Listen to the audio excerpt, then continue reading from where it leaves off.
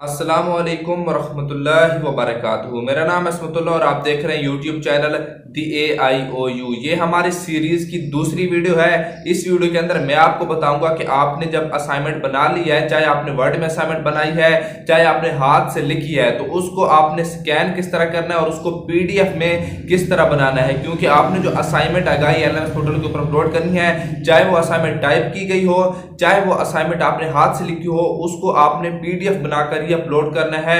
Otherwise वो assignment upload नहीं होगी। तो आप किस वीडियो के अंदर मैं आपको मुकम्मल तौर पर तरीकाकार बता दूँगा।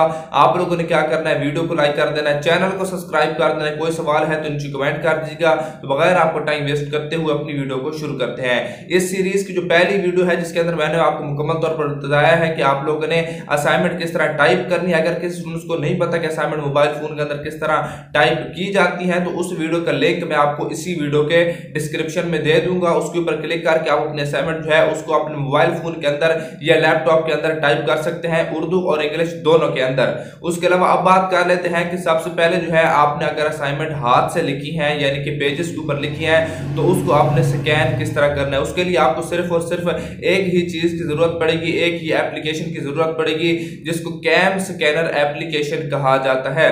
वो अपने मोबाइल फ़ोन के अंदर आपने डाउनलोड कर लेनी है। डाउनलोड करने के बाद अभी मैं आपको प्रैक्टिकली बताता हूँ कि आपने उसको किस तरह अपने जो डॉक्यूमेंट्स है, अपने जो असाइनमेंट है, उसको स्कैन करके पीडीएफ बनाना है। सबसे पहले आपने कैम स्कैनर एप्लीकेशन को ओपन कर लेना। ओपन करने के बाद नीचे सिंपलीफाई आपको कैमरे का ऑप्शन नज़र आएगा। कैमरे के ऑप्शन के ऊपर आपने क्लिक कर देना। जो भी ये सेटिंग मांगेगे, वो सेटिंग आपने अलाउ कर देनी है।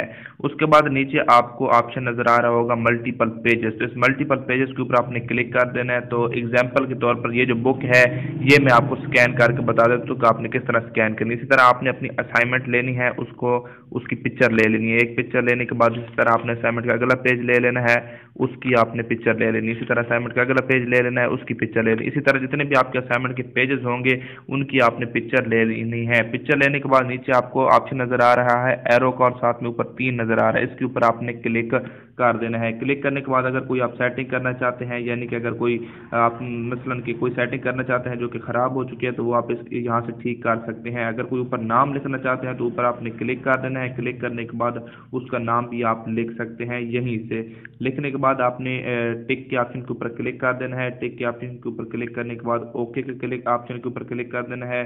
क्लिक करने के बाद आपके जो पेजेस हैं वो स्कैन होके आपके पास आ चुके हैं। ये देखें, पहले किस तरह नज़र आ रहे थे और अब किस तरह नज़र आ रहे हैं। बिल्कुल अच्छी तरीके से स्कैनिंग की है।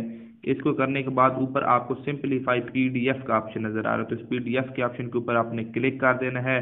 यहाँ से आप अपने असाइनमेंट को कंप्रेस भी कर सकते हैं। जो थर्ड नंबर पे ऑप्शन है फ़ाइल कंप्रेशन का, इसके ऊपर क्लिक करेंगे। ओरिजिनल साइज़ जो है, वो इसका 1.43 एमबी का है। कंप्रेस करने के बाद 0.72 एमबी का हो जाएगा। तो आप कंप्रेस करना चाहते हो तो यहीं से भी कर सकते हैं। कंप्रेस करने के बाद ऊपर आपको शेयर का ऑप्शन नज़र आएगा। शेयर के ऊपर क्लिक करेंगे तो यहाँ सेव टू लोकल का ऑप्शन नज़र आएगा। उसके ऊपर क्लिक करेंगे तो ये जो आपकी असाइनमेंट है, ये आपके मोबाइल फ़ोन के अंदर सेव हो चुकी है।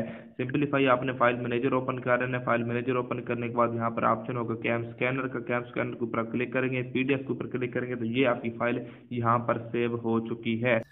तो बिल्कुल इसी तरह आपने हाथ से लिखी हुई असाइनमेंट को स्कैन करना है पीडीएफ बनाना है। पीडीएफ बनाने के बाद आपने आगाई एलएमएस पोर्टल के ऊपर अपलोड कर देना है। उसके अलावा अब बात करते हैं कि टाइप की हुई असाइनमेंट को आपने पीडीएफ में किस तरह कन्वर्ट करना है।